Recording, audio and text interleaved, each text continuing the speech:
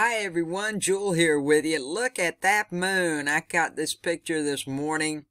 Oh, I guess it was around 4.30 a.m. today, June the 4th, 2020. And look at the color of it. Well, you know why it looks like that? We got a strawberry moon coming up. And on top of that, it's a strawberry moon eclipse. Now, the full strawberry moon, it's going to it's going to be full, completely full tomorrow, June 5th, Friday. It it's going to have this reddish tinge to it, right? And it's looking like so far as the eclipse goes, aspects of this event, it's going to be out of reach from everybody around here in the northern hemisphere.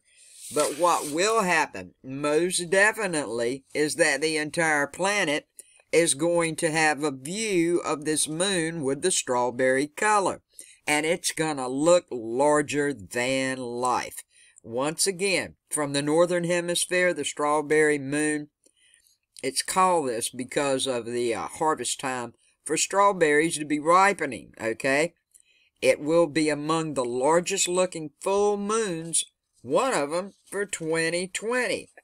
Now, the term strawberry moon simply refers to June's full moon. Sometimes this moon's called a hot moon. Now, the strawberry moon eclipse is the fact that the moon will pass into the Earth's outer shadow in space. And the actual eclipse will be observed in Asia, Africa, and Australia. 57% of the strawberry moon's eclipse will be covered by the Earth's penumbral shadow during this event. Once again, everybody's not going to see this happen, but we all will be able to see the strawberry moon with the color that it has. Now, what this actually means is the only light that reaches the moon's surface from the outer edges of the Earth's atmosphere this is what happens. Now, the air molecules from the Earth's atmosphere, they scatter all around and most of the blue light is scattered tremendously and the remaining light reflects onto the moon's surface with this color glow. So, if you didn't catch it last night, it really is going to pop out by Friday. Friday is when this partial lunar eclipse will happen in some parts of the world. Friday, be sure and catch it. Today is Thursday.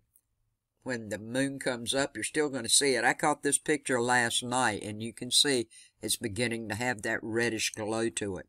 So, Friday is the night to catch this, especially when it comes up and it's dark, and then a couple of hours before it goes down you're going to really be able to see the color in this come out. This is just a little something I wanted to pass along. You have a good day, a safe day, a blessed day. Peace, love, and kindness to each and every one of you. Thanks for watching.